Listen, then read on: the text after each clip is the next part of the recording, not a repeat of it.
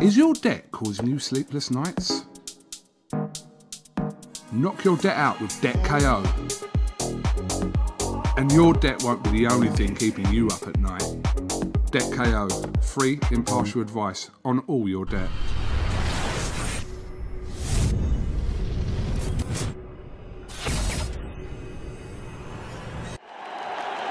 This is something that comes along every now and then in generation, and it's special.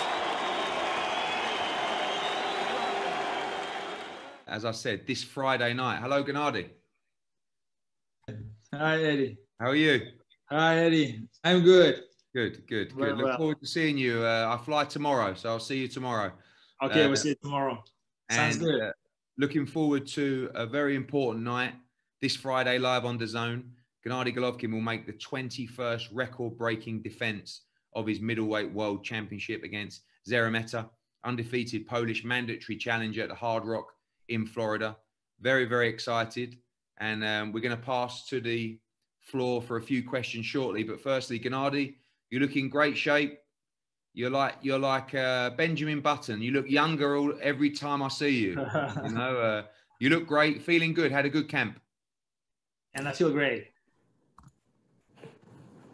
guys. We're going to go to the floor for questions, please. It's not working. Pardon me. Sorry, Mar- uh, Marshall with the first question, please. Hey, Gennady, how you doing? Uh, Good, Marshall, good. good. So, so with the COVID restrictions and everywhere and all o- over the place, how was camp for you? Wa- Was it easy to get sparring? What? How how was that for you? Can I speak Russian, yeah? Да-да, пожалуйста. Ну, в принципе, было достаточно много времени адаптироваться к COVID, то есть к такому событию, что происходит в этом году. И, в принципе, благодаря своей команде мы смогли найти себе и тренировочный кемп, пройти его успешно. И благодаря тем людям, кто меня поддерживает, мы смогли хорошо подготовиться. Um, um, yes, indeed. Uh, but we had enough time to adapt uh, to the COVID situation this year. And uh, thanks to my team, uh, we were able to organize the training camp and uh, get ready for the fight. Okay, and and being prepared for the fight, did did did he have to do anything special in preparation for this opponent in in sparring, or is just general? В принципе, да, в принципе, готовились по-общему. Опять же, немножко работали больше над различными спектрами, над другими. Ну, работа, в принципе, была всегда такая трудовая, сильная, умная, так что я себя чувствую великолепно. Думаю, что мы готовы хорошо. Yes, it was more of a general training, and at the same time, I tried to broaden my scope, and uh, and uh, special emphasis was uh, made on power training, and I feel that uh, I'm ready uh, for this fight. Thank you. Good luck. Thank you, Martin.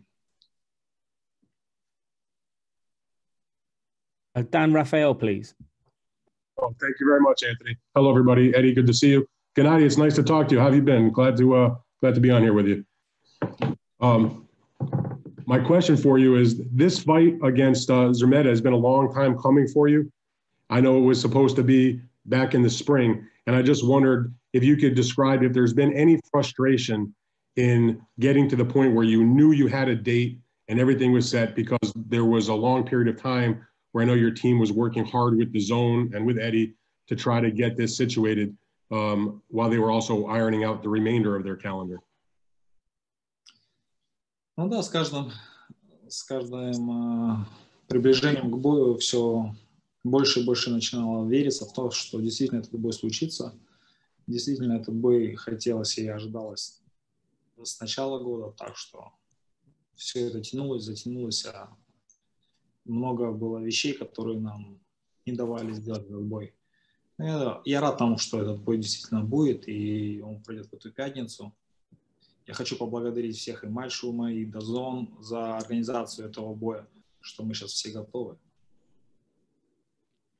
Um, yes, indeed. Uh, but um, when we, uh, as we approached to, this fight, the more faith I had that this fight will indeed take place. Uh, of course, I would want would have wanted for this high for this fight to take place uh, in the beginning of this uh, year. But uh, I would like to use this opportunity to thank everyone involved, Matchroom, the DAZN, uh, my team, uh, to make this possible. And I'm really happy that uh, indeed this coming Friday, this fight will take place. Can I just uh, ask one follow-up, Anthony? That's okay? Fire away. And I, I know, Gennady, that you're very happy that it's finally set, but I know there there was, you know, on the business side, I know you're excited to be back in the ring because that's, you know, you're a championship boxer, but I know that on the business side, it was complicated. There was a lot of conversation that the DAZN was trying to redo deals and change money and all that kind of stuff. Can you speak to, uh, from the businessman, Gennady Golovkin, uh, what that was like to deal with as you were trying also to prepare for a fight? Dan, I will answer that question. I know that uh, Gennady wants to focus just on on the fight, and uh, I think he believes that he's uh, happy with the situation, and he'll address everything moving forward following this weekend. But we focus on the fight on Saturday. Okay, not really an answer, but thank you. Friday. Friday. Thank you, guys. Thanks, Dan. And uh, Ames next, please.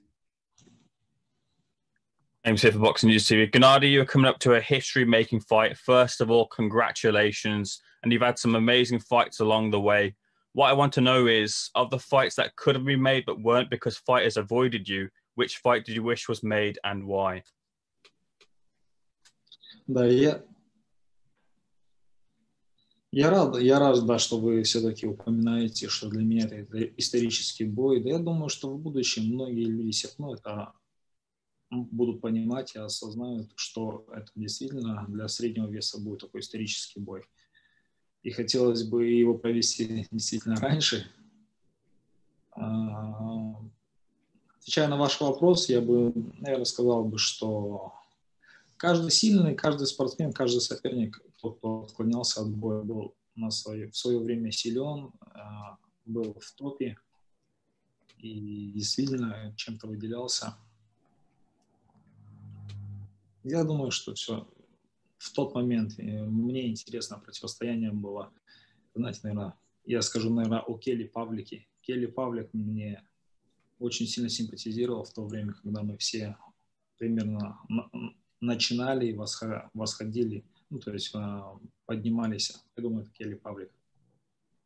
Uh, thank you very much for uh, calling this fight historic.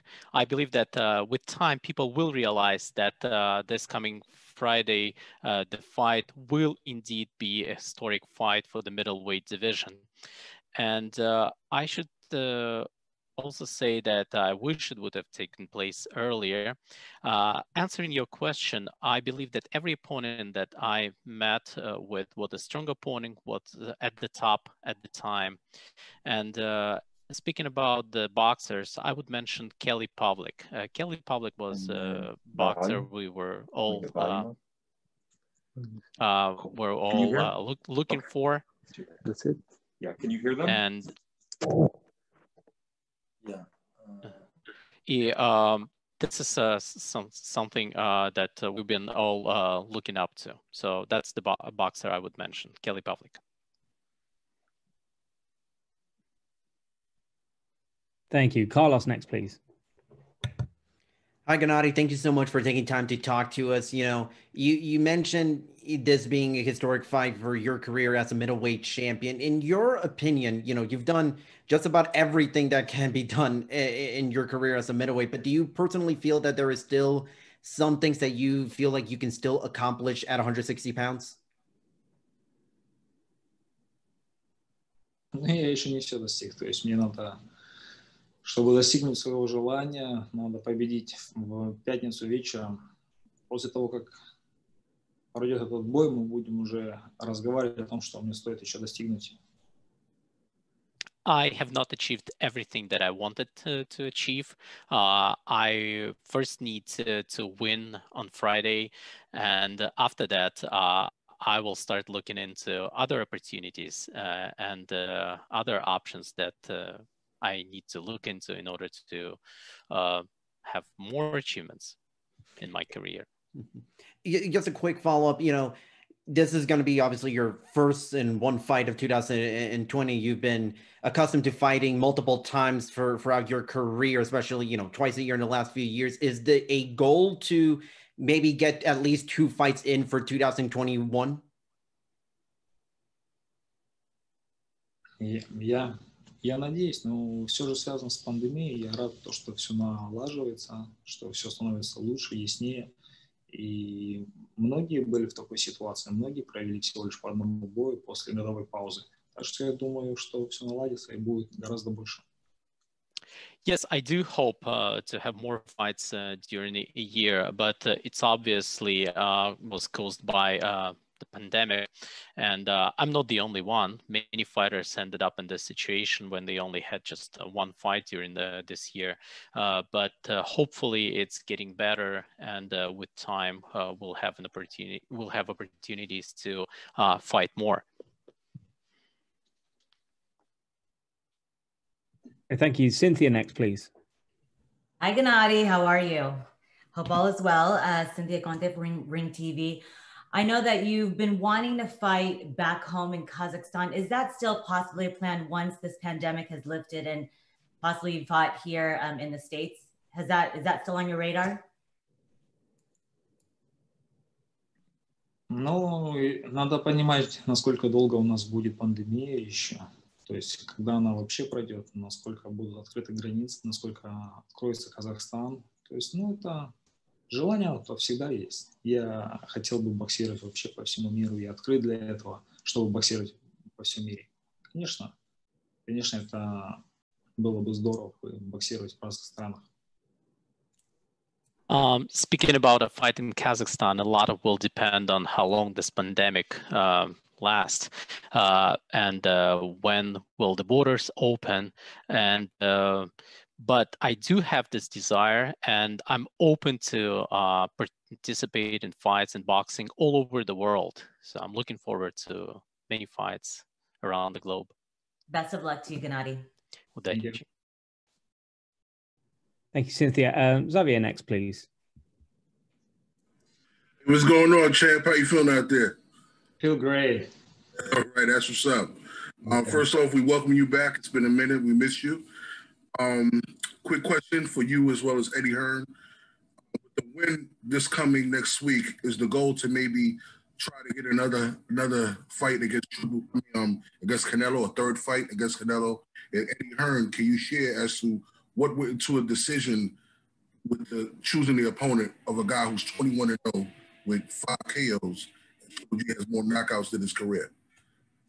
Well, I'll answer that if uh, okay with it. I think that all of the focus is on Friday night. Um, everybody got to witness two tremendous fights with Triple G against Canelo, and who knows what the future holds. But all that matters is Friday night against Szeremeta. In terms of the selection of the opponent, when you are a champion, you have to face mandatory defenses. Szeremeta is the mandatory defense. He's an undefeated fighter. He's a, a very good fighter that's ready for the challenge and he's very hungry. And all of these guys rise to the occasion when they fight a great fighter. Doesn't matter if it's Joshua, doesn't matter if it's Triple G, Canelo, all of these guys rise to the occasion because victory against someone like Gennady Golovkin would be the ultimate achievement for Szeremeta in his country, in Poland, and everybody back home. So, for the Canelo staff and everything, that's the future. What matters is Friday night, defend his title, make a record breaking defense, and uh, get business taken care of. Hi, Gennady. How you doing, mate? Good. Gennady, I need to ask you, there's uh, an opinion out there that you've show, shown signs of vulnerability against the likes of Steve Rolls and Derochenko. Derochenko. Are you still uh, a prime Gennady Golovkin?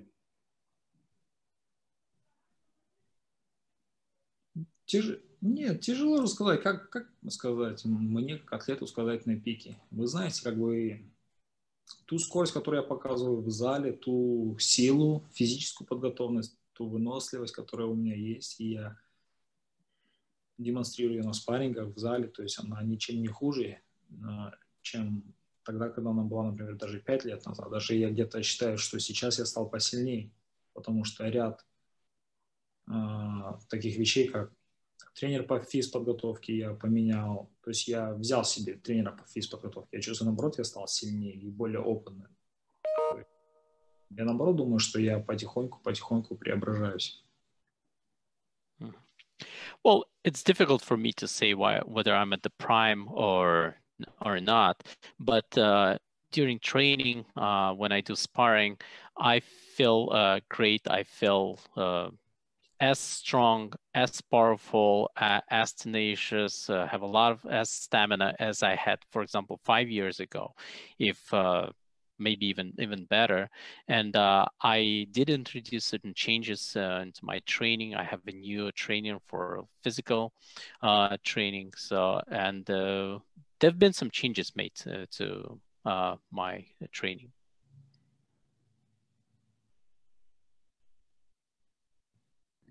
Thank you. Viper Sport next, please. Hi, Gennady. How are you doing? Yes. Good to good to see you back in the ring, man. I'm really excited for Saturday. Uh, listen, the boxing world's going crazy. We've been seeing some, you know, crazy fights, um, crazy matchups, and also some unexpected matchups as well, like exhibitions and stuff like that. Uh, I want to take your opinion on um, Mr. Floyd Mayweather making a return to the ring, fighting a YouTuber, and is this something that boxing com- boxing's coming to. Could we ever see you in the ring for an exhibition against some sort of celebrity?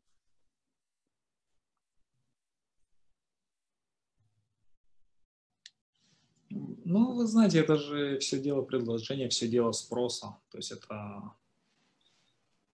конечно, то, что делают э, эти бои коммерческие, они притягивают зрителей. То есть, конечно, это было бы интересно. И я, в принципе, открыт к такому. Было бы интересно посмотреть себя в другом амплуа.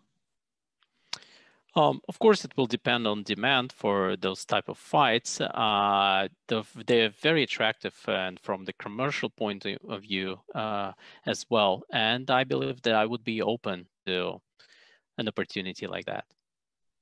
Damn. So uh, Gennady Golovkin against Logan Paul 2022. Who knows? well, all the best on Saturday. Nobody knows. Great, thank you. And the final question for Gennady. Thank you so much for joining us, Gennady. And the, and your last question comes from Cornerman, please. Hey, how you doing, champ? Good, good.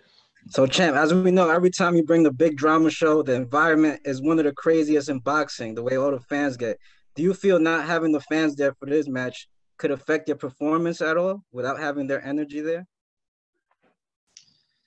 А, вы знаете, да, действительно, я хотел подарить те эмоции, сделать праздник из своего вечера, то есть сделать максимально, чтобы фанаты бокса получили наслаждение от моего вечера, от моего выступления. И многими вещами я даже, сказать так, жертвовал, чтобы больше зрителей получило больше удовольствия в данный момент сейчас новая ситуация, мы к ней подстраиваемся. Я действительно видел пару вечеров, где проводилось без зрителей. Но я скажу так, что как бы там ни было, сделана замечательная работа. Мы, я думаю, что все смогли потихоньку уже перестраиваться, немножко осознать, понять, что мы находимся в такой ситуации. Я хотел бы подчеркнуть и выделить замечательную работу. Это Matchroom, это Эдди Хернан, то есть все его команды, то есть это Дазон, как они сейчас делают, на каком они уровне в, в нынешней ситуации проводят вечера, это просто замечательно. Um, yes, indeed. Uh, and uh, I've always uh, like wanted to, to be as many fans uh, uh, to be present at the fights as, as possible. And uh, people know that from time to time, I even uh, made certain steps uh, for more people to see uh, the fights. Uh, but it's new a reality right now, and uh, we had to adjust to the situation where we need to fight with no crowd present. At the same time, I should say that a, gra- a great job has been done for us to adjust to this, and I would like to once again to congratulate uh, Matchroom and Eddie Hearn uh, on his uh, efforts and efforts of his team as well as DAZN. Uh, the level of organization of those fights, and I did see uh, already several fights uh, with no crowd, is excellent, and I'm really grateful for for them to be part of this. All right, champ. Thank you so much. Wish you the best Saturday night going forward. Anytime, guys. Thank you. Thank you so much, everybody. And that's um, that's Gennadi's time for today. So thank you all for joining. We still have some more people left, of course, but um, I don't know whether Eddie wants to have some final words to uh, before he sees Gennadi tomorrow. Yeah, just want to say, uh, Gennadi, thank you for your time. We'll see you tomorrow. We look forward to Friday night live on DAZN. Thank you. We'll see you tomorrow. This is something that comes along every now and then in generation, and it's special.